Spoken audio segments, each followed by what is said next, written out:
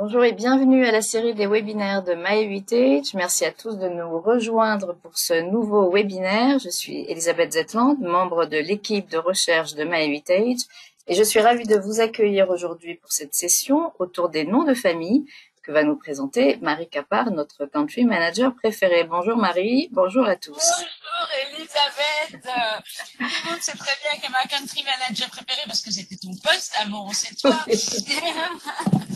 bonjour, bonjour tout le monde. Je suis vraiment ravie euh, d'être en direct de Bruxelles avec vous pour discuter d'un de mes sujets préférés en généalogie, les patronymes et les noms de famille et comment utiliser les outils MyHeritage pour rechercher votre arbre généalogique. Alors, avant de laisser la parole à Marie, qui peut parler beaucoup, donc je vais très rapide moi. Si c'est votre premier euh, webinaire, je vous conseille de fermer tous les programmes. Euh, si vous êtes sur votre ordinateur qui ne vous sert pas, vous pouvez utiliser un casque. Euh, vous pouvez prendre des notes, mais sachez que cette session est enregistrée, sera ensuite disponible en replay sans limite de temps gratuitement. Euh, certainement à partir de ce soir ou demain ou plus tard. Et euh, à la fin de la présentation, j'annoncerai aussi le nom de l'euro gagnant ou gagnante qui remportera un abonnement complet pour une année.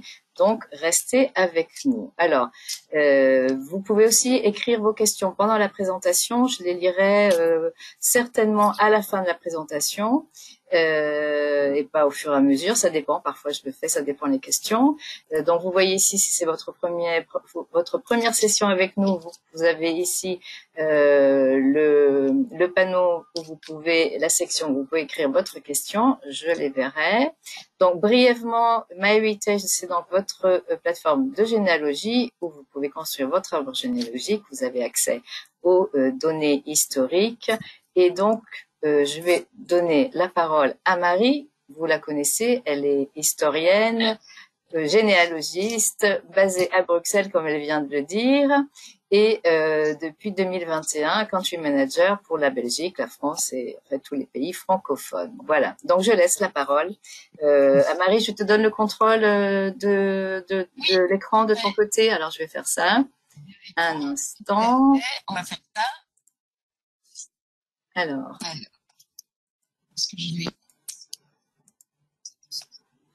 Voilà, je vais laisser de ton côté. Voilà, je l'ai. Je l'ai, je l'ai, je l'ai. Et alors, je vais aller vous prendre. Je vais chercher le fichier. Voilà. Alors, comme ça, vous aurez tous les ficelles de MyHeritage. On va prendre le fichier qui est sur mon ordinateur. Et si ça ne va pas, euh, on ira le chercher sur un drive pour le montrer. Mais on va d'abord commencer par mon ordinateur. Ça, je vais d'abord vous montrer toutes les ficelles quand même. Donc, du coup, je vais. Je crois qu'on voit pas encore ton écran. Non, non, tout à fait, on voit pas encore mon écran. C'est bon, c'est je- bon. Je pensais que c'était c'était moi. Voilà. Non, non, non, non, non, non, non, non, non, non, c'est, c'est, euh, c'est moi qui vais chercher le fichier dans mon ordinateur, mais pour ça, je dois d'abord masquer d'autres fichiers. Donc, euh, donc voilà, car l'équipe de MyHeritage est toujours à l'affût de nouvelles histoires et Oui, de je- nouvelles retrouvailles. Petite je parenthèse, je à... te laisse, je te laisse, je cherche, cherche des- le fichier, la présentation, parce que Marie, en fait, vient d'avoir euh, une interview et donc euh, nous rejoint vraiment in extremis. C'est Voilà. pour ça que tu n'es pas tout à fait prête. J'étais inquiète d'ailleurs, mais je vois que tu es là. Non, non, c'est- c'est- c'est- ça s'est passé, mais je... Ah voilà. Voilà la présentation qui s'ouvre. Magnifique et merveilleux.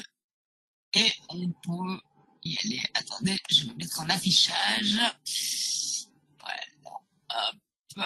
Affichage normal. Insertion. Voilà. Démarrer à la première. Et hop. Alors reste bien euh, approche de ton micro sans trop bouger, je pense. Je sais pas si c'est. Ah voilà, on- voit- déjà on voit ton écran, c'est bien. Et euh, Voilà, voilà, voilà. voilà, et là on t'entend mieux. amis, pour tout le monde. et Martin Durand et compagnie. euh, Nous allons aujourd'hui étudier les noms de famille en généalogie et comment l'étude de ceci, de ceci peut nous aider dans notre généalogie. Euh, c'est vraiment un sujet passionnant et intéressant. C'est un sujet très très vaste. Donc évidemment, et Elisabeth l'a souligné, j'ai tendance à parler beaucoup. Donc on ne va pas tout couvrir aujourd'hui. Bien entendu, je ne vais pas faire une étude exhaustive de tous les noms de famille de tous les participants. Ça serait bien trop euh, fastidieux et peut-être même ennuyeux.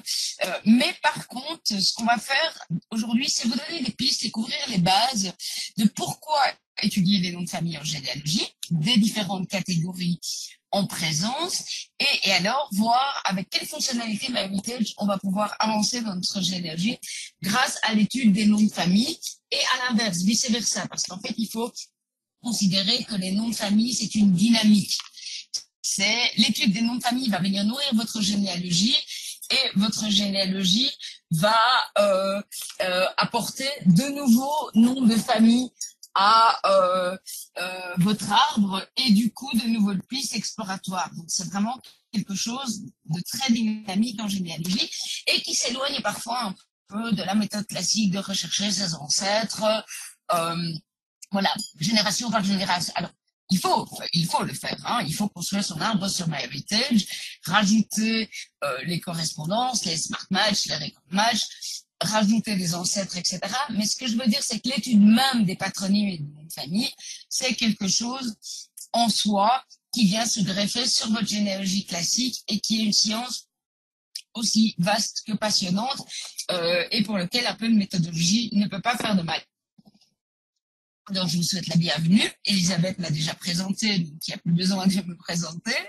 Euh, mais je vais un peu aussi vous parler de MyHeritage. MyHeritage, la plateforme mondiale de généalogie incontournable et la meilleure à mes yeux qui aide chaque jour des millions de personnes à faire des découvertes généalogiques euh, et découvrir vos origines et trouver de nouveaux membres de votre famille avec des millions d'arbres généalogiques, des 19 milliards de collections historiques. Et concernant les collections historiques, il est à noter que MyHeritage euh, met en ligne euh, en moyenne une nouvelle collection par jour. Donc c'est pas rien. Imaginez, en une année, vous avez 350, 365 nouvelles collections le nouvel an quand même pour être juste. Et du coup, ça vous fait de nouvelles collections à travers le monde qui vont aussi varier. La France, la Scandinavie, les États-Unis, l'Australie, etc. C'est vraiment génial. Et euh, du coup, vous avez également 49 milliards de profils, des millions d'utilisateurs et MyHeritage, c'est important et on va en parler aujourd'hui dans du webinaire. MyHeritage est euh, disponible en 42 langues, ce qui peut parfois poser problème avec les noms de. Mais on y reviendra. Alors, je vais vous d'abord faire un petit clin d'œil, un petit clin d'œil et un petit jeu. Le petit clin d'œil, c'est une citation de Marcel Proust, euh, tirée du livre bien connu À la recherche du temps perdu. Que quelqu'un ait le même nom que vous sans être de votre famille est une grande raison de le dédaigner. Alors, moi, je trouve, alors, je n'ai pas la page exacte du livre. Pour tout vous dire, j'ai trouvé dans un recueil de citations sur les familles, donc je n'ai pas le contexte euh, précis du passage de Proust, mais moi je trouve qu'aujourd'hui, avec ce webinaire, on va donner tort à Proust. On va euh, le faire mentir parce qu'en fait, euh, Qu'est-ce qu'il en sait que la personne qui porte le même nom euh, que vous est sans être de votre famille Qu'est-ce qu'il en sait qu'il n'est pas de votre famille? Parce que si ça se trouve, si on monte plusieurs générations, eh bien, peut-être que cette personne est de votre famille. Et pour cela, évidemment, il faut faire une étude patronymique, une étude des noms de famille. Et donc, je voulais un peu faire ce petit clin d'œil euh, à Proust pour commencer, et un petit jeu également. Si vous êtes comme moi faire une généalogie, vous avez des centaines, voire des milliers de noms de famille dans votre arbre généalogique sur MyHeritage, bien entendu. Et donc, vous pouvez prendre le nom de famille le plus commun que vous ayez en tête. Alors, moi, c'est facile, c'est Martin, parce surtout, c'est le premier patronyme en France, donc euh, voilà. Et le nom le plus rare, et gardez-le en tête, notez-le à côté de vous pendant le webinaire pour voir ensemble euh, après quel, est votre regard sur ce nom de famille. Est-ce que c'est un nom de famille dont vous connaissiez la rareté? Est-ce que c'est un nom de famille dont vous connaissiez la popularité? Est-ce combien de personnes autour de vous portent ce nom de famille Est-ce que vous-même vous habitez dans un lieu où ce nom de famille est fort présent? Ou au contraire si vous êtes le seul dans votre ville à porter ce nom de famille Ça, c'est un petit jeu. Euh, et à la fin du webinaire, eh bien, vous verrez si le regard sur votre nom de famille est différent ou pas par rapport euh, au début. Alors, je vais d'abord cacher les commandes parce qu'elles m'empêchent de voir mes notes. Et donc, chercher le document. La France est un grand pays avec une large population. Et on estime qu'il y a environ 1,4 million de noms de famille. Vous imaginez le nombre total de porteurs de noms. Alors, comme je l'ai dit justement, il y a des noms de famille très populaires, il y a des noms de famille beaucoup plus rares. Et ce, dans chaque catégorie. En prenant en compte, et on en parlera aussi lors du webinaire, les variations patronymiques.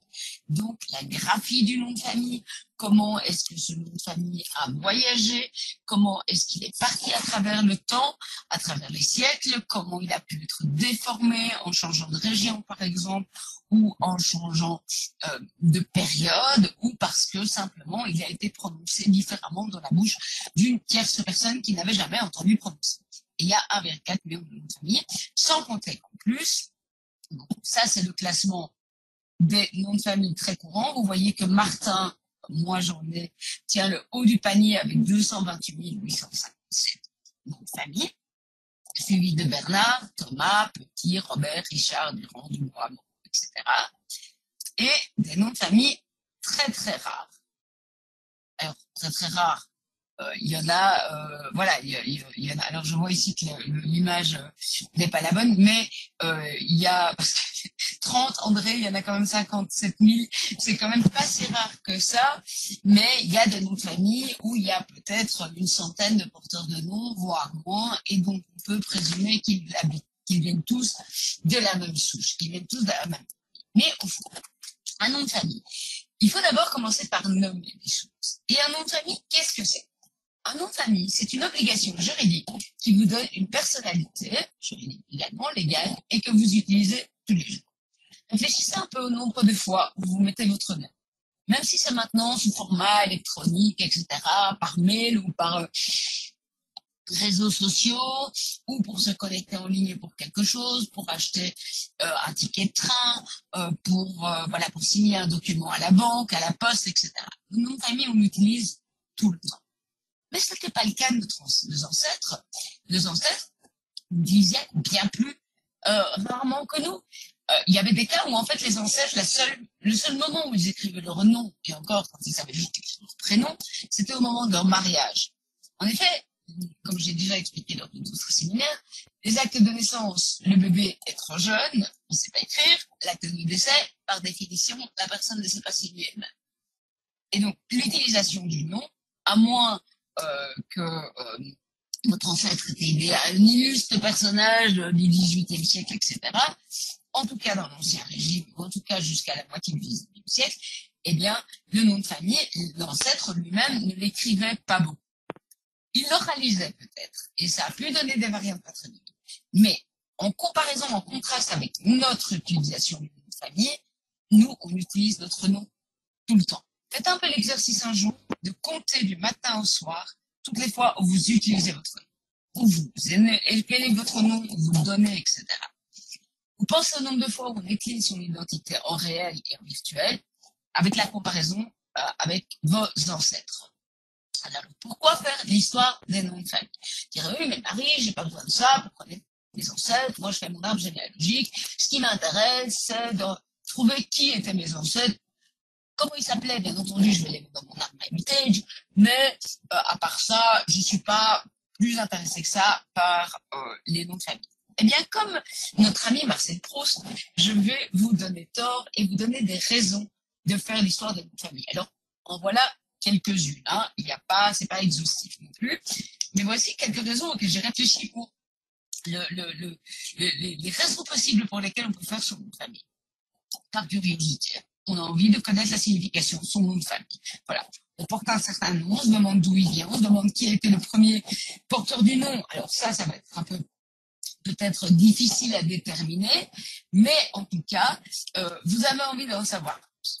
Par fierté, entre guillemets. Vous aimez bien votre patronyme, vous venez d'avoir un petit enfant, vous voulez transmettre, vous êtes euh, euh, intéressé dans un sens noble de fierté de votre famille, de fierté de ses aboutissements, de fierté de savoir ce que votre famille a fait. Et vous voulez absolument connaître des informations sur euh, votre famille, eh bien, euh, vous, euh, voilà, vous pouvez faire l'histoire de votre famille par Également pour transmettre le patronyme aux générations futures. Donc, je me disais, ben voilà, l'occasion souvent quand on se demande, c'est quand il y a un nouveau mariage dans la famille, quand votre fils, votre fille se marie, et forcément vous allez demander le nom de famille du fiancé, de la fiancée, c'est un nouveau nom qui vient s'ajouter dans la famille. Vous avez alors du coup votre curiosité piquée pour savoir, tiens, ça vient de ce nom-là, ou tiens, c'est commun, c'est courant, tiens, j'ai jamais entendu. Ou alors, au contraire, euh, vous allez euh, voilà, vous rendre compte que votre fils fréquente euh, une, dame dont le patronyme, voilà, la moitié du village est porteur de ce patronyme-là et a priori cousin avec la dame. Ah, vous êtes des un tel, parce qu'évidemment, il y a des familles souches dans les villages, et du coup, bah, peut-être que euh, cette fameuse fiancée est, membre de ces familles souches. Et, ah ouais, c'est, euh, ils sont pas parents avec les... Bon, bon, bon. Si vous habitez dans un petit village, ce sera peut-être le cas.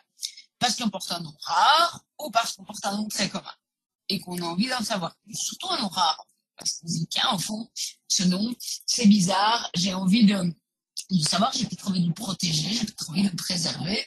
Et de fait, il y a énormément de noms de famille qui disparaissent depuis euh, la deuxième moitié du 19e siècle. Il y a énormément de noms de famille qui disparaissent.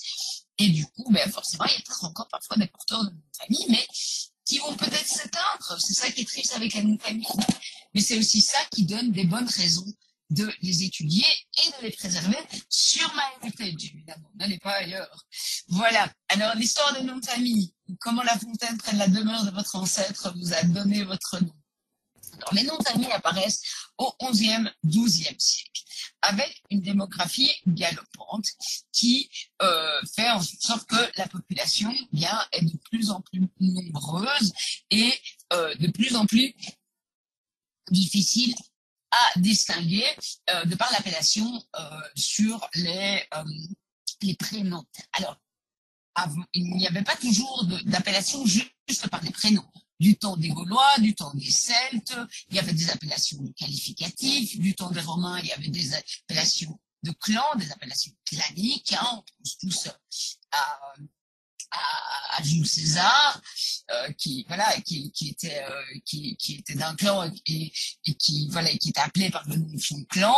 Euh, de même, des autres empereurs romains et, et, et, et dans l'Antiquité, les, les, exemples sont nombreux. Mais avec euh, l'avancement des siècles, la population même, voilà, était appelée par son prénom. Sauf qu'à un moment donné, il a commencé à avoir beaucoup de monde et on ne savait plus distinguer quel était le Julien, quel était le Jacques, quel était le Jean, quel était le Pierre. Ah, Pierre, ah, j'ai prêté de l'argent à Pierre. Parce que derrière ça, il faut aussi se rendre compte qu'il y a une réalité économique et financière. J'ai prêté de l'argent à Pierre. Quel Pierre Ah, Pierre, celui-là, celui qui habite près du moulin. Ah, ok, Pierre du moulin du moulin de ce village, d'un certain village évidemment, pas du moulin du village d'à côté. Ah, mais c'était pas Pierre du Château? Non, c'est pas Pierre du Château, c'est Pierre du Moulin. Et l'obligation des noms de famille apparaît au XIe siècle et on va du coup euh, donner un nom de famille distinctif, représentatif aux personnes nom de famille qu'il sera obligatoire de transmettre à la génération suivante. Ce qui ne veut pas dire qu'elle sera transmise de façon euh, toujours facile ou de façon toujours alors correcte. Ceux qui écoutent souvent mes webinaires savent que je n'aime pas euh, évoquer euh, le, le, ou parler des variantes patronymiques ou parler des entre guillemets erreurs en généalogie ou des erreurs de graphie comme d'erreurs je préfère euh, dire des différences. Donc, euh, les, les, euh, je, je, préfère dire des différences et euh, des, des, différences ou des variantes, mais pas d'erreur, parce que erreur, ça induirait le fait qu'on soit euh, en vrai ou en faux, qui est du juste ou du bon. Et euh, c'est pas euh, voilà, c'est pas c'est pas c'est pas ça qui est euh, c'est c'est pas ça. Il n'y avait pas de vrai ou faux. Bien entendu, Jacques ou Thomas ou Jean, ben voilà, il y a une certaine façon d'écrire dans la langue dans laquelle on écrit, mais il faut aussi se souvenir que les langues euh, sont très très vastes. Euh, en, France, alors je dis la France au sens large, mais c'est la France qui comportait euh, différents territoires qui s'appelaient pas France. Mais voilà. Donc, euh, les, les, les, au niveau de de la graphie et, et, et de la façon d'écrire tant dans les registres des, des, mentions, dans les actes, etc., il y a quelque chose qui euh, a tendance, alors je sais que les gens ne font pas exprès, mais qui a tendance à euh, m'horripiler, de dire « Ah, oh, c'était écrit de manière vraiment fausse » ou « Ah, oh, c'était écrit pas juste », etc. Non, c'était écrit d'une certaine façon à un moment donné. Qu'est-ce qui est juste, pas juste? Mon patronyme à moi, maintenant, qu'à part, si on suit l'histoire de ce patronyme, n'est pas écrit de la façon, entre guillemets, juste. Qu'il n'y a pas de façon juste de l'écrire. Voilà, comme il est transcrit maintenant en 2023, ou comme il a été transcrit lors de ma naissance en 1975, découle d'une transcription différente faite au début du 19e siècle par un officier d'état civil qui a euh, un peu zappé le muet qui était euh, dans le patronyme de mon ancêtre. Et depuis, il y avait, et en plus, son notre enfant, un autre enfant a gardé le muet. Et donc, j'ai des cousins, tout, ce qu'il y a de plus cousin. On a même trouvé euh, voilà, des, confirmations de, parentèle euh, euh, par, tous les moyens possibles et inimaginables. Eh bien, eux, c'est A-E-R-T et moi, c'est A-R-T. Qu'est-ce qui est juste, pas juste? Il n'y a pas une question juste, pas juste. C'est, voilà, les faits tels qu'ils sont écrits à un moment donné dans un contexte historique pour différencier les gens dans une Et du coup, on va donner des patronymes aux gens. Alors, on va donner des patronymes aux gens, et ces patronymes, aujourd'hui, on peut les classer dans différentes grandes catégories de patronymes. Alors, bien entendu, il y en a d'autres. Bien entendu, il y a des exceptions. Bien entendu, il y a des catégories particulières de patronymes comme euh, les patronymes, par exemple, d'origine euh, euh, étrangère. Alors, les patronymes d'origine étrangère ou les patronymes appartenant à une communauté bien précise suivent également un peu le même pattern, également un peu le même chemin d'avoir des patronymes prénoms, des patronymes par rapport à des noms de lieux, des patronymes par rapport à des euh, qualités, etc. Bien entendu, mais ces patronymes sont écrit ou créé, entre guillemets, à la base, dans la langue étrangère. Et donc, l'importation, entre guillemets, en France va se faire avec une graphie étrangère qui, du coup, va peut-être se transmettre aussi et peut-être aussi se transformer. Mais ce que je veux dire, c'est que les grandes catégories des classements des patronymes euh, on appelle bien entendu d'autres, mais qui sont peut-être plus rares et plus spécialisés et euh, qu'on pourrait euh, étudier à l'envie. Mais comme elles sont très très rares, ben, du coup j'ai préféré me focaliser sur les grandes catégories, histoire de voir si vous y retrouviez dans celle-là. Alors, on va aborder d'abord les différentes catégories euh, de noms de famille, et comme je viens de le dire, il y a des exceptions, euh, mais euh, voilà, il y a, toujours des exceptions, mais les, grandes lignes dans lesquelles on peut, les, oui, les grandes, cases, les grandes catégories dans lesquelles on peut classer le type de nom de famille. Est-ce que c'est plutôt un nom de famille physique? Est-ce que c'est plutôt un nom de famille morale, etc. Et après, je vais vous donner des outils et des informations pour faire l'étude de ces noms de famille avec les outils de BioHeritage. Alors, plongeons déjà dans le cœur du sujet à propos des différentes catégories de noms de famille. Alors, les noms de famille, il y a différents euh, noms de famille. Il y a des noms de famille prénoms. On l'a vu, Martin, c'est le plus courant. Euh, les noms de famille d'origine géographique, les noms de famille physiques, les noms de famille moraux. Alors j'ai appelé moraux, c'est caractéristiques physiques, caractéristiques morales, c'est plus correct. Mais voilà. Et puis tous les autres. Comme je le disais, il y a probablement d'autres euh, catégories ou sous-sous-catégories ou embranchements de catégories. Euh, on pourrait faire des, des, croisements entre la linguistique et la généalogie et euh, s'amuser pendant des heures à faire euh, des études patronymiques et à voir s'il y a des sous-sous-sous-sous-groupes qui pourraient exister. Alors, Les noms de famille la raison pour laquelle j'ai décidé d'en parler en premier, c'est parce que c'est vraiment euh, la catégorie championne des catégories de noms de famille. En tout cas, en France, c'est clairement euh, le prénom euh, qui prévaut. Alors, quand les noms de famille ont été créés, quand, on disait, voilà, quand je disais Pierre du Moulin ou Jean du Château, ça c'est pour les caractéristiques de lieu. Mais tout d'abord, on définissait les gens par rapport à leur parentèle, par rapport à qui était leur famille, qui était leur père, leur mère, etc. Et c'est pour cela qu'on disait, ah, Jean, le fils de Michel. Ah, oui, Jean-Michel. Et quand on a donné les noms de famille, on a dit, ah oui, toi, Jean, c'est comme ça s'appelle ton père, Michel? Ah, Voilà, c'est Jean, Jean-Michel. Ou Pierre Roger. Voilà, Roger, c'est pas un prénom du XIIe siècle, mais voilà. Pour vous donner l'idée que la transmission du prénom de la génération supérieure à la fixation des noms de famille est devenu un patronyme à part entière et jusqu'à ce jour, c'est la catégorie championne des patronymes, c'est les patronymes de prénoms. Donc Martin, Julien, Roger, Franck, Émile, Julienne, Jacques, etc. Mais aussi des prénoms euh, désuets, tombés en désuétude, Anselme, euh, voilà, ou Évrard, ou Hendrix, et toutes les variantes de Hendrix, etc.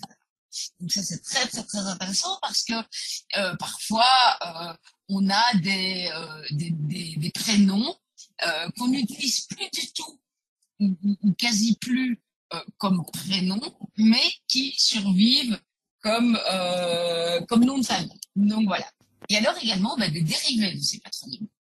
Donc avec un petit euh, un petit suffixe, soit ES, soit ART, euh, pour dire euh, pour dire voilà petit Jacquet, petit petit Jacques, ou Jacquet ou Jaco, ou petit Jacques, et c'est souvent avec un T au bout en fait. Voilà, c'est souvent ET ou AR, Simonard, donc voilà, qui vient de, Simon, Burkhardt, euh, Evrard, euh, voilà, c'est ça, ça permet euh, de donner un petit qualificatif, un petit euh, surnom au, au prénom, au prénom qui est devenu un patronyme, et c'est des dérivés, mais ça vient de là.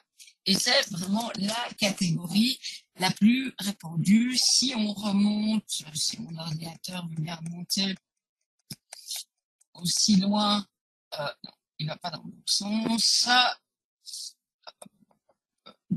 Je m'avance. Mais si on remonte dans le classement des noms de famille, hop, voilà, ici, oups, avance un peu trop vite.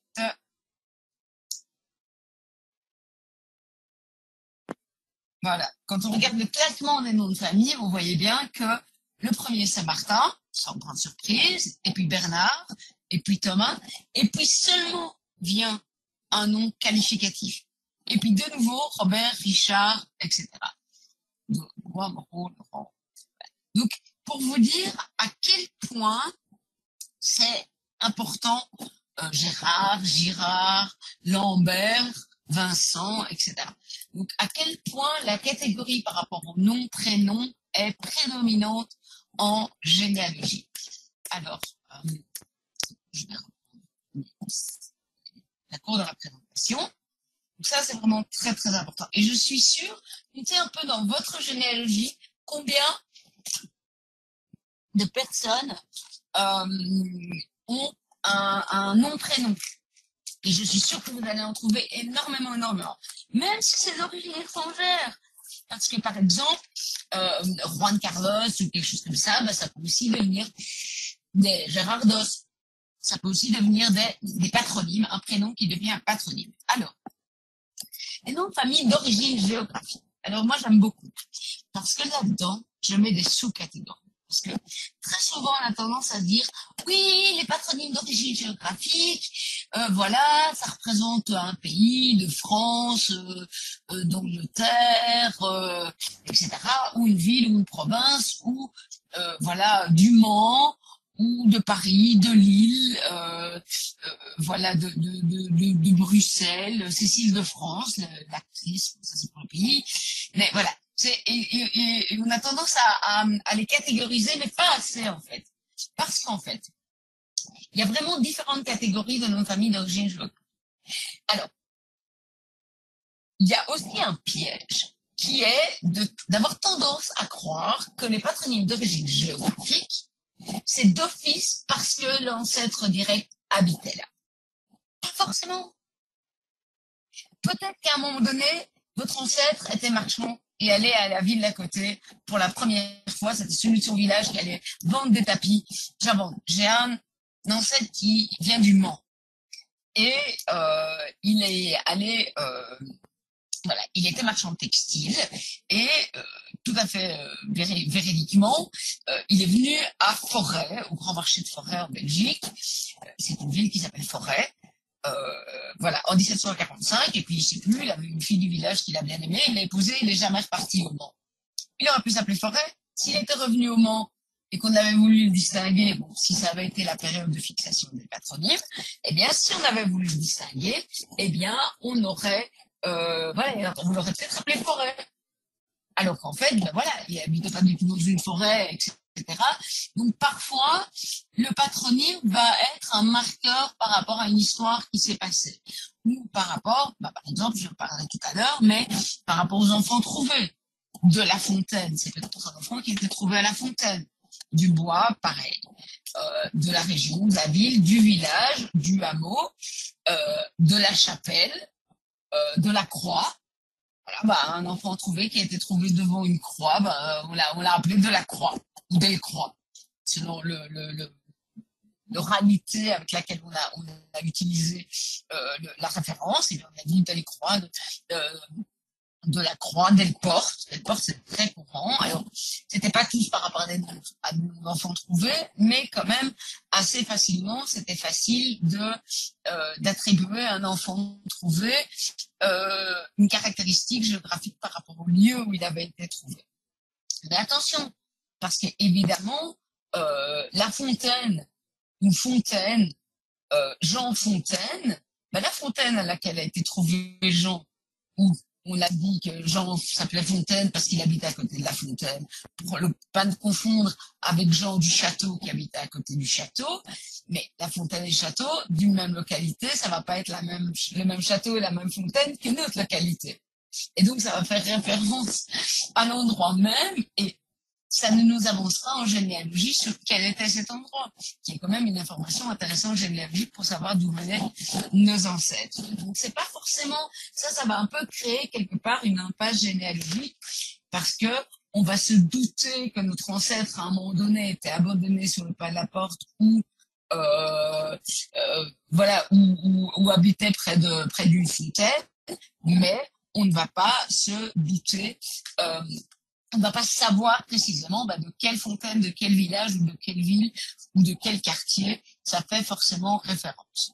Euh, et euh, au niveau des nationalités, donc Anglois ou France ou de France, euh, de Lille ou de Bordeaux, etc., eh bien, on va avoir une information sur le fait que ce sont des références, mais est-ce que c'est votre ancêtre qui a voyagé là-bas ou est-ce que il habitait forcément là-bas? Ben, ça, évidemment, c'est une inconnue qu'on va pas forcément trouver dans les sources parce que ça va remonter trop loin. Et dans les registres paroissiaux ou les greffes cabinaux ou des archives notariées, il va pas forcément y avoir d'explication quant au nom de famille parce que forcément, les archives du 10e, 11e siècle, ce sont des archives euh, voilà, qui, qui, concernent plutôt euh, des choses bibliques ou des, ou des références aux grandes familles euh, nobles et il va pas y avoir un dictionnaire d'interprétation de famille assez populaire.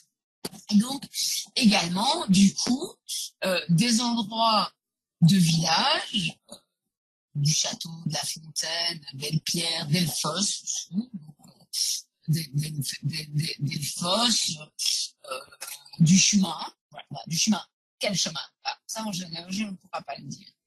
Mais on a du pont, du bois, voilà. Mais ils peuvent aussi tout aussi bien représenter une partie d'habitation du toit, des portes, de la grange, du puits. Voilà, votre ancêtre avait un puits. Il était connu pour être celui qui avait un puits dans le village et que les gens allaient euh, voilà, chercher de l'eau chez lui, eh bien, voilà, du coup, il n'en fallait pas beaucoup plus pour que votre ancêtre s'appelle Dupuis ou la grange parce qu'il avait une propriété avec une grosse grange ou bien qu'il habitait à côté de la grange. C'était le premier Jean qui était à côté de la grange et on a fini par le baptiser Jean Lagrange. Alors, une autre catégorie de euh, nom de famille, c'est une catégorie qui mentionne les caractéristiques physiques. Donc, le grand, le petit, le roux, le blond, le roux, le menu, petit, gentil. Voilà, gentil c'est plus moral, mais euh, voilà. Donc ça, c'est vraiment l'idée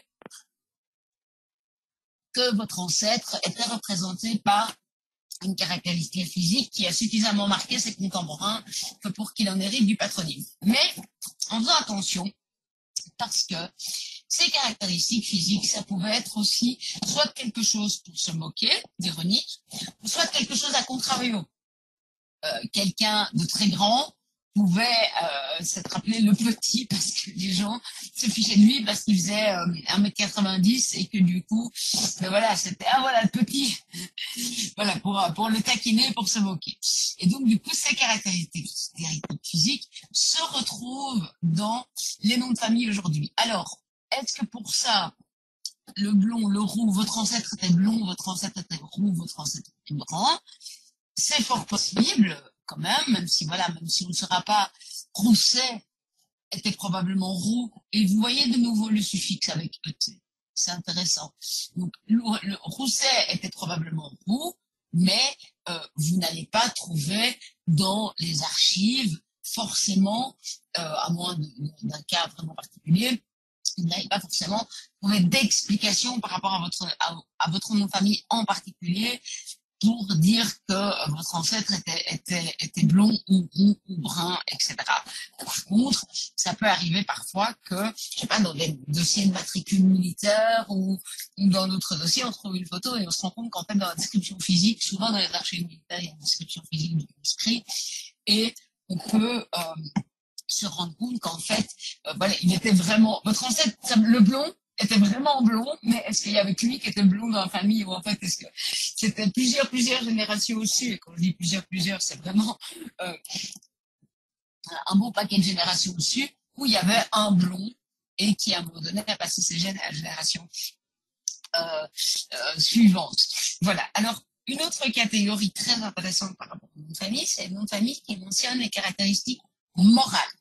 Alors, pourquoi est-ce que j'ai mis une illustration de Louis XIV dans une présentation même sur les caractéristiques morales. Vous allez dire, Marie, elle est complètement tombée sur la tête, elle se prend pour le roi soleil, qu'est-ce qui se passe? Pas du tout. Le roi. Le roi, c'est un patronyme très très courant en généalogie, avec différentes graphies possibles, évidemment, Y, pas Y, etc. Et le roi, ce n'est pas parce que votre ancêtre s'appelait le roi. Il y a beaucoup de gens qui disent ah mais mon ancêtre s'appelait le roi. Donc forcément, on doit forcément descendre d'un enfant illégitime, d'un souverain de France. Voilà, on a du sang royal, etc. Oh, oh, oh. Il faut pas sauter aux conclusions votre ancêtre ça peut-être le roi parce qu'en fait il se prenait pas pour euh, il se prenait pas pour le il se prenait pour le nombril de la terre. Et du coup il se prenait un peu pour le roi soleil euh, même s'il avait vivait avant. Et du coup eh bien les gens pour un peu se moquer l'ont appelé euh, le roi ou le comte ou l'empereur pour dire mais tu prends pour qui toi? Tu prends pour un empereur tu as vu comme tu es vaniteux euh, voilà, eh ben, on te baptise l'empereur et du coup, ben, Jean va devenir Jean l'empereur et pas ou Jean le roi. Et, il n'a aucune connexion ni avec un empereur ni avec un roi ni avec un prince. Le prince voilà. Par contre au niveau des indications concernant ah oui ça c'était pour les caractéristiques caractéristiques physiques. Donc, euh, le roux, le blond, le brun. voilà. Euh, pour les caractéristiques morales, encore, euh, le, doux, le sage, le juste, le noble, le précieux, euh, euh, euh, ce genre de patronyme là, bien évidemment va évoquer un caractère plutôt affable, plutôt gentil, euh, qui va euh, qui va vous, voilà, qui va vous donner peut-être une indication sur un trait de moralité de votre aïeul lointain, tout en gardant évidemment bien en tête que euh, ce trait de moralité a peut-être été attribué à contrario. Euh, quelqu'un de dur, euh, ben voilà, on l'a appelé le doux pour un peu suisse de lui, mais, mais donc voilà. Il y a également les noms de famille qui évoquent un métier. Donc voici euh, la carte de visite euh, d'une artiste qui s'appelait Nadia Boulanger. Alors elle était artiste, mais il est fort à parier que son ancêtre s'appelait Boulanger.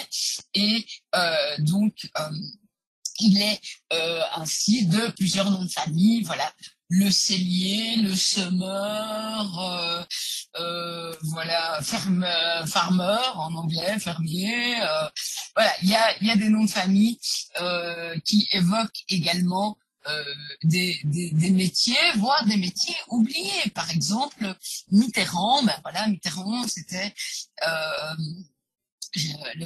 l'explication m'échappe euh, pour le moment, mais Mitterrand, ça venait de euh, d'un métier. Donc, euh, donc voilà. D'ailleurs, n'hésitez pas à mettre en commentaire si vous le, si vous le retrouvez par cœur.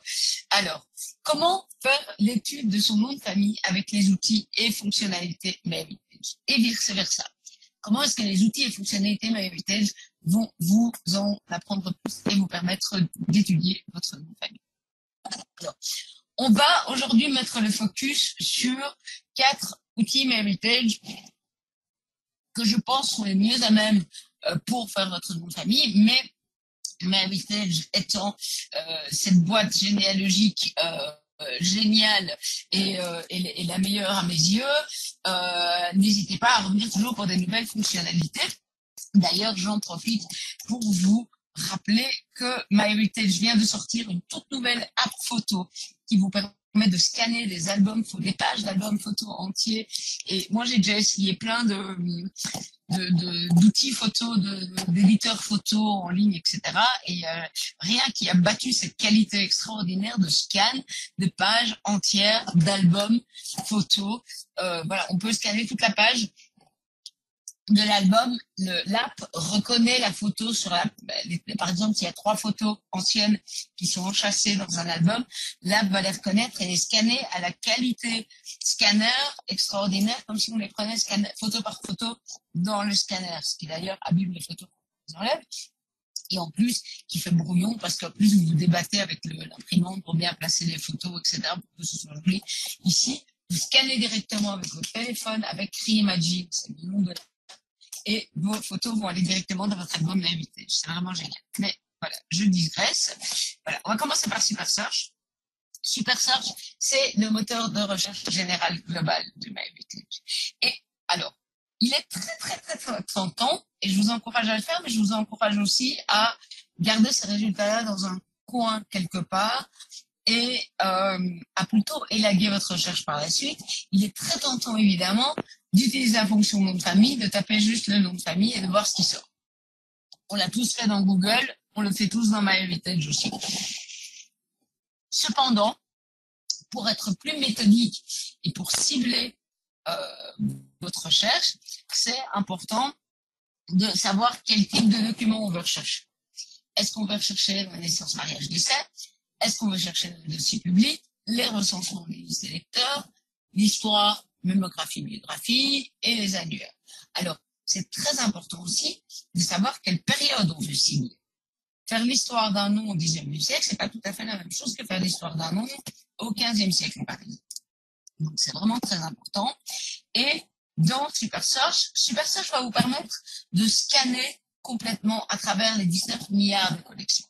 Mais évidemment, forcément, 19 milliards de collections, vous vous rendez bien compte qu'il y en a tellement que c'est pas ça qui va euh, vous donner la clé du mystère. Enfin, qui va, les 19 milliards de collections vont pas répondre toutes à vos demandes de généalogie, même si je sais que euh, les réponses les plus importantes, euh, vous le, voilà, vous le, vous le, diront.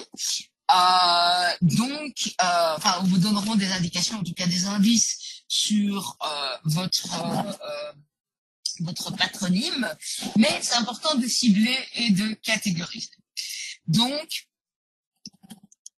C'est pour ça que je vous invite à utiliser le catalogue. Des... Alors ici, j'ai mis la flèche pour les arbres généalogiques, mais je vous invite à utiliser, vous voyez au-dessus, le catalogue des collections.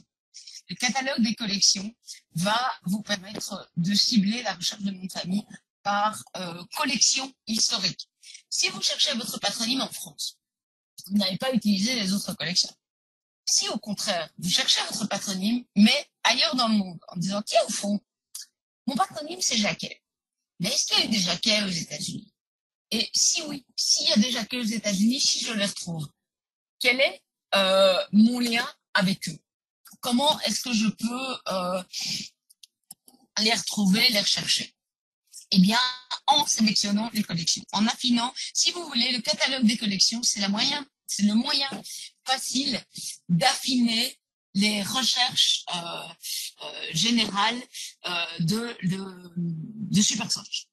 Voilà. Donc SuperSearch va peut-être vous donner énormément de recherches, qui est, énormément de résultats de recherche, qui est génial. Mais là-dedans, peut-être que la ressource qui va vraiment vous faire avancer dans votre recherche ou vous donner des informations complémentaires par rapport à vos ancêtres, elle est trop loin. Donc il faut affiner, il faut utiliser vraiment le catalogue des collections. C'est vraiment quelque chose que je vous engage à utiliser le plus possible. Et notamment, vous le voyez ici, alors malheureusement, la slide est en anglais, je m'en excuse, euh, ferai mieux la prochaine fois. Mais vous pouvez sélectionner arbre généalogique, naissance, mariage, décès, militaire, immigration, journaux, livres et publications, etc. Et vous pouvez sélectionner par collection, vous pouvez raffiner par collection, vous pouvez raffiner par endroit, localisation. Donc, vous pouvez faire Europe, France, et là, vous pouvez prendre aussi Belgique, Suède, etc. Et vous pouvez aussi affiner par année, par décade. Si vous savez que votre nom de famille est très présent au XVIIIe siècle ou au XIXe siècle, sélectionnez ces périodes-là. Ou, à contrario, sélectionnez une période où vous savez que votre nom de famille est moins présent pour essayer de voir quels sont les rares porteurs du nom. Est-ce qu'à un moment donné, euh, le, patronyme euh, devient très populaire parce qu'il y a eu beaucoup de garçons qui sont nés, qui ont eu eux-mêmes beaucoup d'enfants. Est-ce qu'il y a un boom démographique à ce moment-là?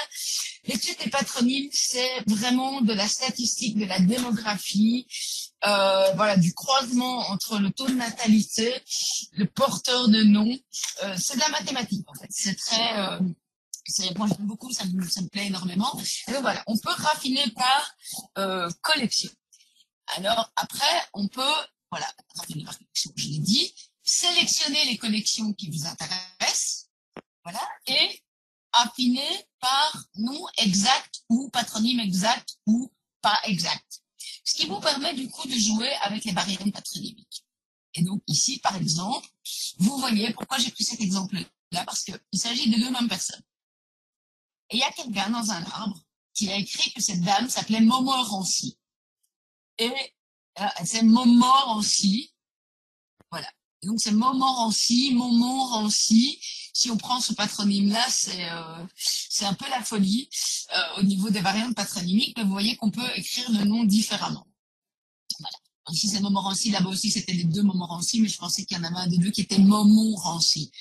Donc voilà. Mais au fond, le, patronyme de base, entre guillemets, c'est Montmorency, mais il a été tellement, euh, entre guillemets,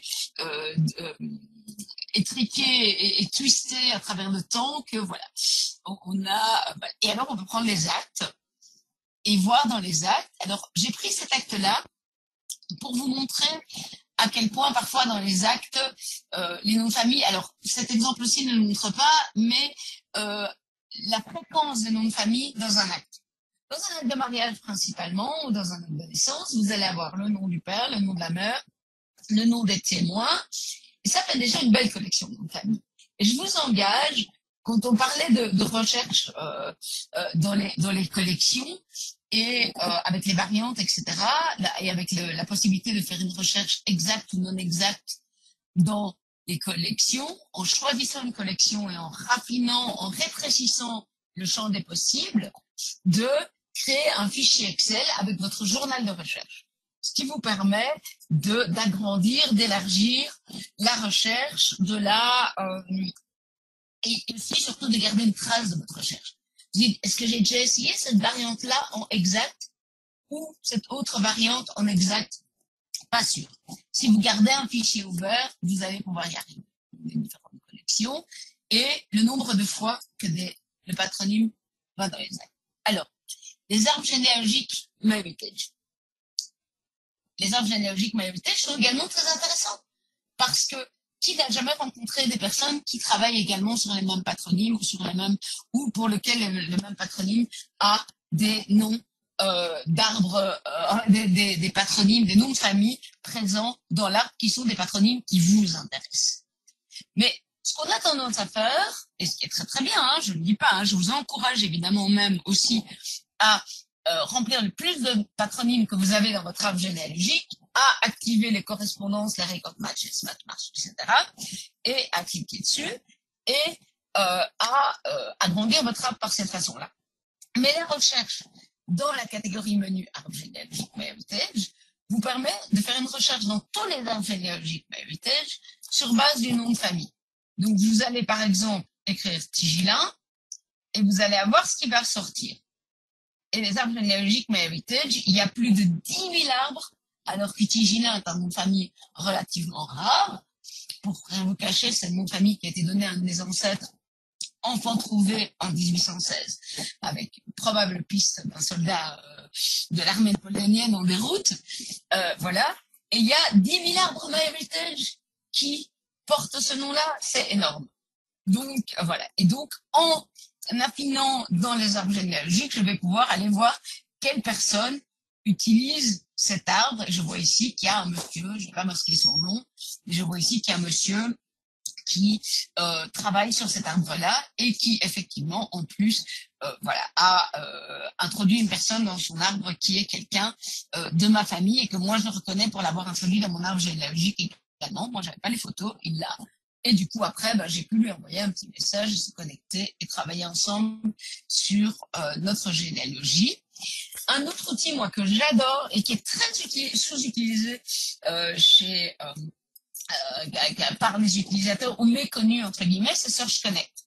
Donc, ça veut dire que vous, faites, vous pouvez faire une recherche avec un patronyme pour voir quels sont les utilisateurs MyHeritage qui le cherchent aussi sur MyHeritage. Parce que du coup, c'est peut-être comme ça, parce que eux, leur intérêt pour l'arbre pour ce patronyme, c'est peut-être qu'ils ont le même, ou qu'ils sont intéressés par le même dans leur étude du patronyme. Et du coup, ben, ça va vous permettre de vous connecter avec ces utilisateurs-là. Évidemment, activer les smart match et les smart match, ça, vous connaissez, ça commence à être classique. Si vous ne connaissez pas, je vous invite à aller voir notre base de connaissances qui va euh, vous aider à euh, faire ces recherches et en apprendre plus sur comment faire les, activer les Smart Match et les Record Match. Et même les outils photo peuvent vous aider à faire votre étude de nom de famille. Pourquoi? Parce qu'une fois que vous trouvez un nouveau nom de famille, une nouvelle variante, mettons par exemple que vous avez des photos. Si vous n'avez pas de photos, vous pouvez toujours mettre dans les notes dans votre arbre généalogique de la personne. Et si vous avez une photo, vous pouvez, si vous avez le nom de la personne, vous pouvez attacher le nom. Souvent, on a des photos, mais on n'a pas de nom. Vous pouvez attacher le nom de la personne à sa photo et vous pouvez euh, dire voilà c'est qui, etc. Et vous pouvez utiliser le phototagger que moi j'aime beaucoup. Je l'aime tellement que je me suis mis plein de fois sur la photo avec ma maman aussi. Regardez comme elle est jolie. que j'ai aussi mis plein de fois. Le phototagger en fait va aller chercher toutes les photos de vos albums sur Heritage. C'est pour ça que c'est très important de mettre toutes les photos de vos albums sur.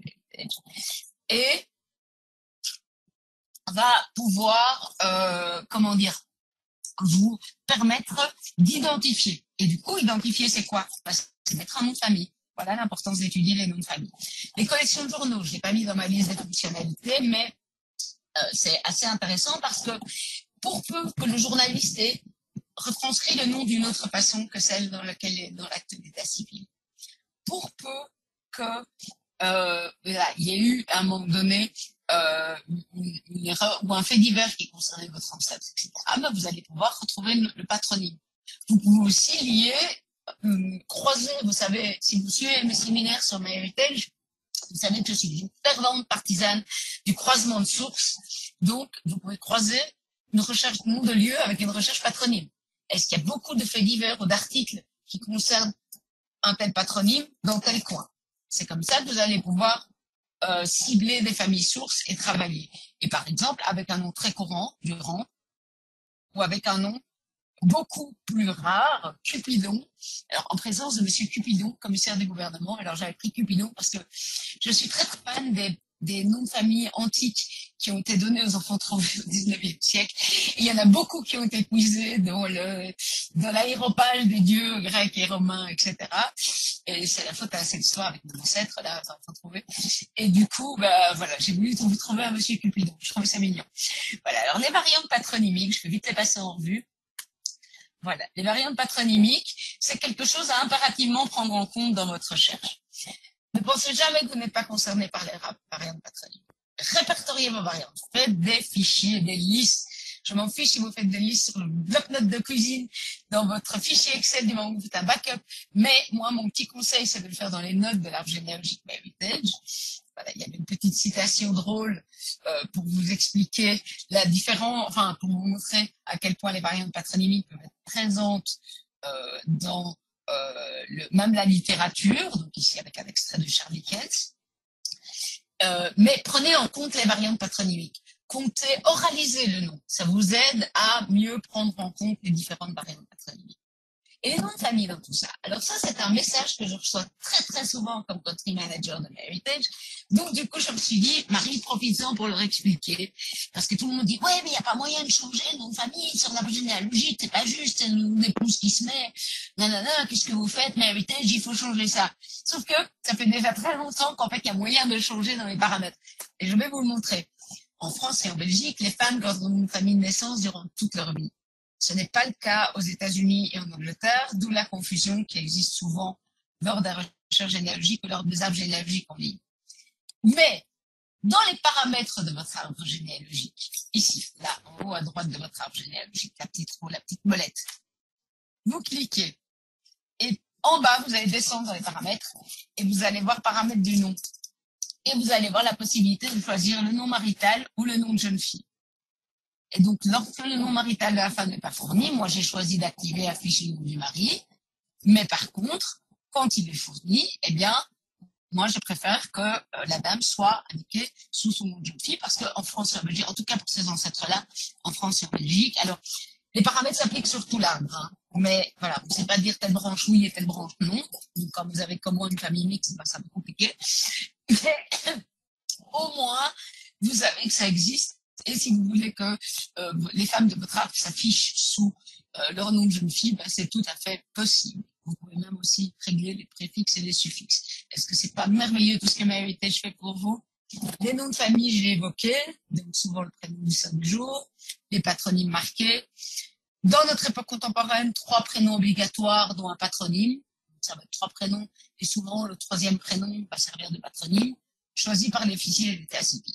Et souvent, en général, après la Seconde Guerre mondiale, ça devient des prénoms à la mode. Voilà.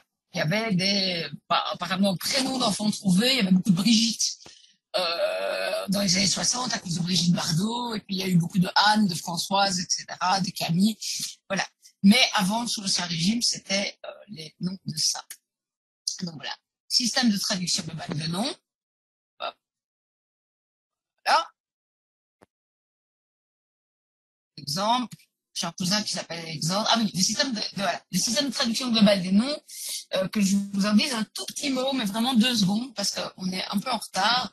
Donc voilà, MyHeritage a ce système complètement innovateur et génial qui vous permet de traduire les noms dans les résultats de votre recherche dans les collections. Ce qui veut dire que si un nom apparaît en cyrillique, en hébreu, euh, euh, en, en, chinois, que c'est peut-être pas chinois, je m'avance un peu. Mes excuses à l'équipe traduction. Mais dans, une, dans un langage qui utilise un autre alphabet, eh bien, chez vous, il va sortir selon l'alphabet que vous utilisez, pour des facilités de lecture. Alors certaines personnes disent, ouais, mais ça dénature la vraie réalité du nom. Oui, mais si vous ne savez pas lire ou interpréter, moi, l'orthodoxe, le russe orthodoxe ou l'ukrainien, je ne sais pas lire. Si on me dit que ça, c'est Jake Smith, ça va m'aider pour ma recherche généalogique. Après, rien ne m'empêche de l'écrire ou de mettre dans mon arbre généalogique qui s'appelait que, son vrai nom, la façon dont son nom était écrit du nom du vivant de cet ancêtre, était la façon originale. Mais au moins, ma je vous aide à comprendre les choses au lieu de rester bloqué devant ces caractères en mode je ne sais pas traduire cet alphabet. Et donc, j'ai un cousin qui s'appelle Alexandre. On a aussi, on a utilisé le prénom, mais ça marche aussi pour les noms de famille. Mais tout le monde l'appelle Alex. Et voit les différentes variantes et variables pour Alexandre. Avouez que, voilà, c'est pas mal, hein, comme choix, comme liste. Qu'est-ce que ça veut dire? Ça veut dire que vous pouvez rechercher dans votre langue et les outils de Heritage vous aideront à traduire et puis à retraduire les noms dans la langue de votre choix. C'est pas joli ça, c'est merveilleux. Alors, comment utiliser les noms de famille si je suis coincé dans ma recherche? Élargir la recherche, élargissez au niveau géographique, élargissez au niveau du temps, élargissez au niveau des variantes. Considérez, montez une base de données avec tous les possibles patronymes rencontrés. L'importance des variantes patronymiques. Oralisez le nom. Donc, si vous oralisez le nom, vous allez peut-être vous rendre compte qu'en fait, il y a peut-être un T au bout du patronyme qui manque, il y a peut-être un E qui manque, ça pourrait s'écrire avec deux P, qu'à part si on l'entend. Vous ne savez pas si vous pouvez l'écrire C-A-P-A-R, C-A-2-P-A-R, etc. J'ai déjà eu mon nom n'importe quelle façon. Reconstituez les groupes familiaux de porteurs du. Établissez une carte sur Google Maps, par exemple, avec les groupes familiaux. Comme ça, vous pouvez voir, tiens, dans ce coin-là, c'est plutôt de tel porteur de patronyme. Dans ce coin-là, c'est plutôt tel autre, etc. Montez une base de données d'élargissement de recherche. Là, pensez à votre recherche comme s'il s'agissait d'une équation. C'est une allégorie que j'utilise souvent, que j'aime vraiment beaucoup, beaucoup, beaucoup, beaucoup, beaucoup, beaucoup, beaucoup.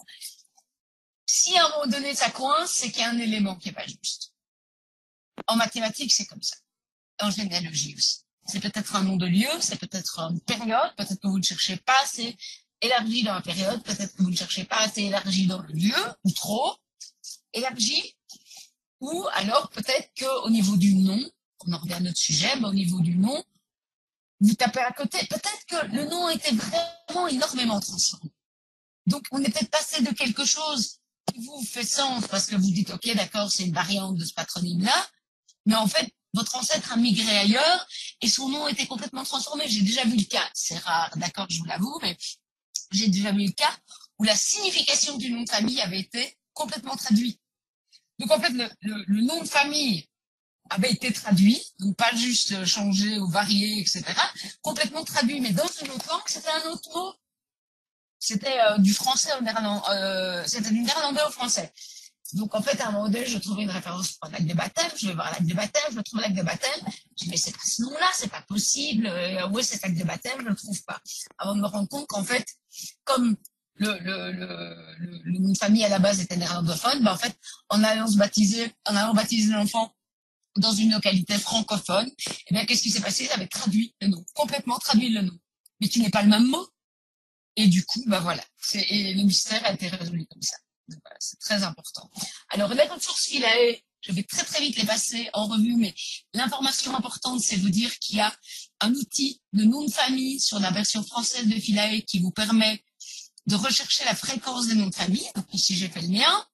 Et puis j'ai fait une première variante pour voir la différence, vous voyez, au niveau de la différence de, chiffres, de, de, de quantité, de volume, mais toujours dans le même endroit en France.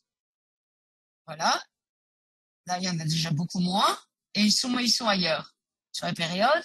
Et qu'est-ce que j'ai fait avec ces trois variantes? C'est tout bête. Ça m'a pris cinq minutes, même pas. Je les ai mis dans un Excel et j'ai fait un tableau de fréquence. Et comme ça, j'ai pu étudier quelle patronyme ressort le plus. Voilà. Alors, ce que vous pouvez également faire, c'est utiliser les réseaux sociaux pour étudier un patronyme. Je vais vite, vite passer, mais évaluer le nombre de porteurs de patronymes et de ses variants sur les réseaux sociaux, multiplier les réseaux sociaux parce que peut-être qu'il y en a qui sont utilisés par certaines personnes et pas par d'autres, multiplier les sources. Si vous approchez des porteurs du nom, ne leur sautez pas au cou en, les appelant euh, euh, euh, tonton Georges, par pitié. Oh, tonton, tu portes non. Calme. Bonjour, je m'appelle Intel, je suis généalogiste, je m'intéresse au porteur du nom Intel. Je vois que vous êtes porteur de ce nom-là, savez-vous d'où il vient, quelle sont votre famille, etc. S'il vous plaît. Et ne soyez pas déçus si vous n'avez pas de réponse ou pas de réponse tout de suite. Les gens ne sont pas à votre disposition. Les gens ne sont pas intéressés par la généalogie. C'est quelque chose que moi, personnellement, je ne comprendrai jamais. La généalogie, c'est le plus important au monde. Mais voilà, euh, il faut respecter aussi les personnes, c'est pas la tasse de thé. Et il faut utiliser la méthode des trois R, des trois P, que certains ont déjà entendu parler à l'Amérique du 15e. Réfléchir, rapprocher, remercier. Réfléchir à l'approche qui est cette personne, qu'est-ce que je voudrais lui demander, qu'est-ce que j'aimerais bien attendre d'informations d'elle, se rapprocher, utiliser la méthode la plus opportune pour prendre contact avec elle et remercier.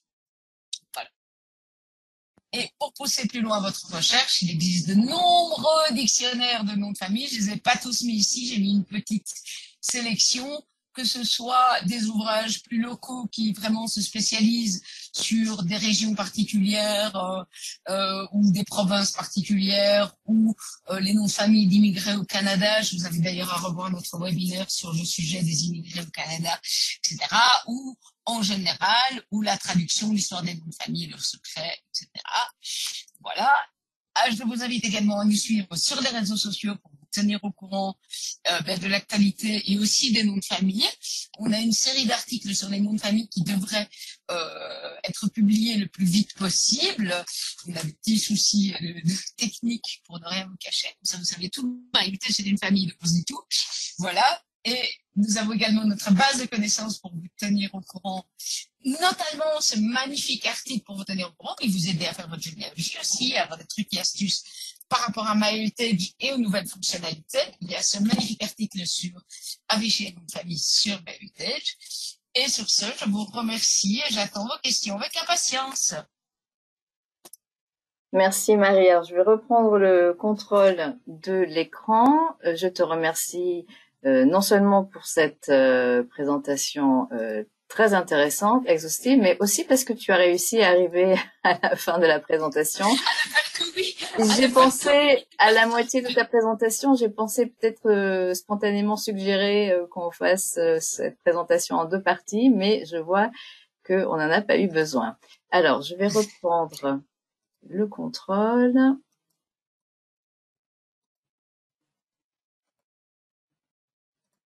Voilà. Et donc, avant de passer aux questions, euh, je vais donc euh, annoncer le gagnant, en fait une gagnante. Euh, félicitations à Madame Muriel Clémenceau. Je vais vous contacter. Donc, vous avez remporté un abonnement complet d'une année. Donc, vous aurez accès à toutes les fonctionnalités euh, de MyHeritage, que ce soit pour l'arbre, euh, les, les, données, les outils photos. Si vous avez déjà un abonnement, ça veut dire que vous aurez une année, ça sera prolongé d'une année. Donc c'est moi qui vais vous contacter euh, juste à la fin du webinaire par email. Donc félicitations encore Madame Clémenceau. Euh, je vous rappelle que vous verrez le, le, replay de cette session au plus tard, je pense, demain. vous la verrez donc de façon gratuite et euh, sans limite de temps sur la base de connaissances qui est à l'adresse que vous voyez ici éducation.maheritage.fr et, la session elle sera aussi en replay sur le, site anglais de Legacy Family Tree Webinars. Alors j'en profite pour vous annoncer que le prochain webinaire aura lieu euh, dans euh, deux mois, fin août, le mardi 29 août. C'est moi qui présenterai une session sur les collections d'archives françaises sur MyHeritage. Alors, on va passer euh, aux questions. Euh, D'abord, quelqu'un qui a fait remarquer effectivement euh, que euh, il y a beaucoup de personnes d'origine juive qui portent des noms de villes car ils ont été obligés au cours de l'histoire. Euh, j'ai fait un.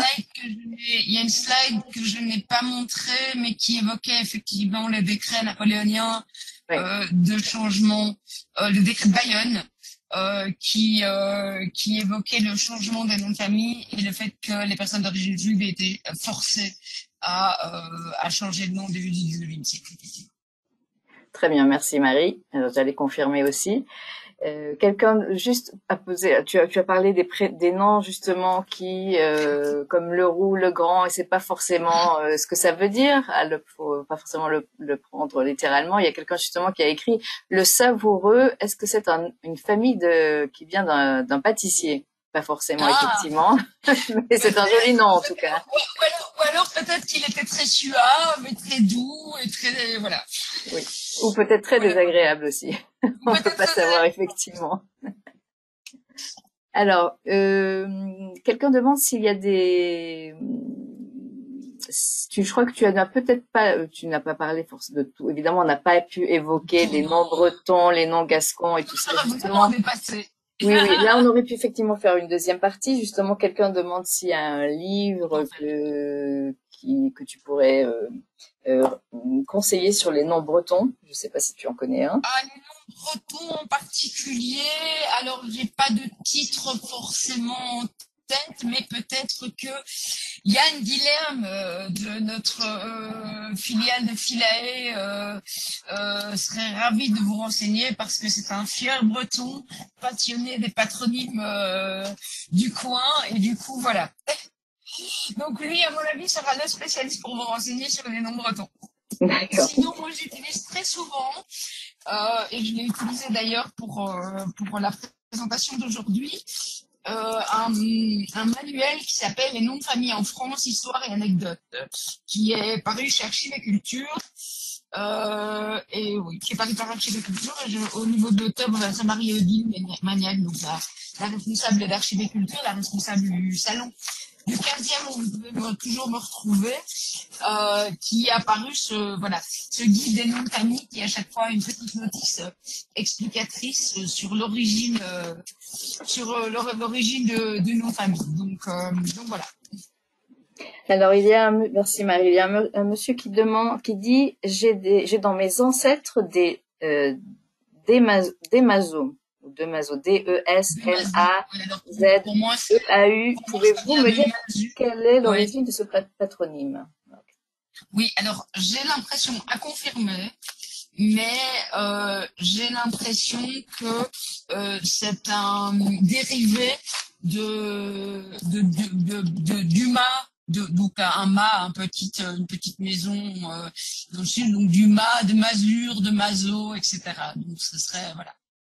Euh, ça, ça, fait référence à un domicile. Et on parlait de, je parlais de François Mitterrand tout à l'heure et qui était une origine de métier. Je viens de vérifier. Euh, Mitterrand est un dérivé de métier qui désignait en français médiéval une sorte de mesure de grain. Exact. Donc voilà. Merci Marie. Alors une autre question. J'ai essayé de contacter à plusieurs reprises la mairie du village où sont nés plusieurs membres de ma famille euh, Desbier, D-E-S-B-I-E-Y-S, à Léon dans les Landes en France et ce n'est pas eu de réponse. Par ailleurs, ce nom aurait des origines anglaises. Certains de mes ascendants étaient anglais. Comment faire pour avoir des informations? Alors, au niveau de l'ascendance anglaise, je n'ai pas pu la vérifier. Euh, voilà, moi je crois que le mieux ce serait de faire, de rechercher dans ma héritage les porteurs du nom dans les arbres généalogiques de voir euh, s'il y a des correspondances, s'il y a des choses qui font sens par rapport à votre propre généalogie, euh, de rassembler euh, quelque part un panorama, une radiographie des porteurs du patronyme, et puis de voir si la c'est via cette branche-là qu'une ascendance anglaise a été, a été vérifiée. Mais a priori, et là je mets ma casquette britannique, euh, parce que euh, certains euh, auditeurs du webinaire le savent, je suis également euh, britannique euh, et tout en, aimant, tout en étant très très franco, francophile, euh, je, je, je, ne vois pas ce patronyme comme étant un patronyme d'origine typiquement britannique. Voilà. Mm. Mais euh, c'est peut-être euh, un dérivé euh, de quelque chose de plus ancien qui du coup avait peut-être à un moment donné une origine britannique. Mais ce que je conseillerais, c'est de faire la radiographie du porteur du nom, de vérifier les ancêtres, d'aller le plus loin possible et de voir comme ça. Voilà.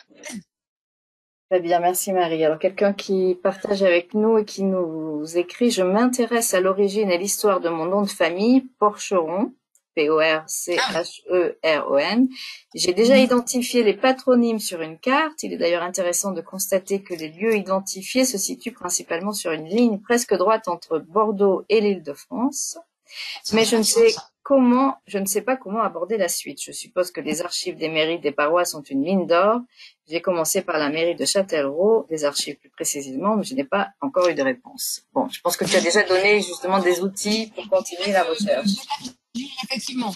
Je dirais d'élargir euh, et euh, je dirais d'élargir aussi au niveau des variantes parce que porcheron, c'est peut-être percheron qui à un moment donné a été changé en porcheron parce que quelqu'un quelque part dans un registre paroissial, a entendu Porcheron et du coup a écrit parce que voilà il fallait aussi se rappeler c'est quelque chose que je n'ai pas dit dans le binaire mais euh, qu'à l'époque euh, d'abord il y avait beaucoup de dialectes les gens ne parlaient pas tous français ou le français classiques entre guillemets, et les gens aussi, surtout les gens du terroir, avec des accents ou quelqu'un qui va à un moment donné chez le curé pour faire baptiser son enfant, comment, vous appelez, comment vous appelez Et en fait, c'était Percheron, mais il l'a prononcé d'une telle façon que le curé a entendu haut. Et du coup, il a noté haut. Et voilà. Donc voilà, c'est une, piste que c'est une piste que, que je donnerais. Oui, on se croirait presque quand tu le racontes, effectivement. Alors, quelqu'un demande si tu euh, connais l'origine du nom Weber. W-E-B-E-R. Weber. Ah, alors, moi, alors, deux têtes, donc à confirmer. Hein, me, ne venez pas me jeter des pierres si je me trompe. Mais euh, Weber, euh, à l'origine, c'est un nom de métier. Alors voilà, je l'ai devant les yeux. C'est un nom de métier qui signifie le tisserand. Parce qu'il faut pas oublier les noms de famille. J'ai parlé boulanger, j'ai dit boulanger, tisserand, euh, couturier, etc.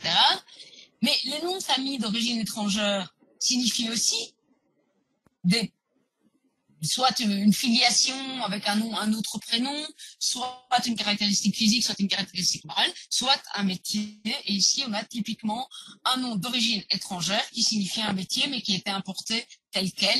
Euh, voilà, je parlais de la traduction du nom euh, tout à l'heure, euh, c'était par rapport à une référence de nom de lieu, mais en fait ici c'est un nom de métier qui a été, euh, voilà, qui été importé tel quel. Euh, la version étrangère a été importée tel quel en France. Très bien. Merci Marie. Alors je pense avec, grand, grand plaisir, toujours un plaisir de vous retrouver. Je pense qu'on va s'arrêter là pour cette présentation. Euh, merci encore à tous de, de, de nous avoir euh, rejoints pour euh, écouter Marie et je vous dis à bientôt. Donc le prochain webinaire aura lieu dans euh, deux mois à la fin du mois d'août. À, bientôt, Elisabeth, à, tout le monde. Merci Marie, merci à tous. Au revoir. Au revoir. Au revoir.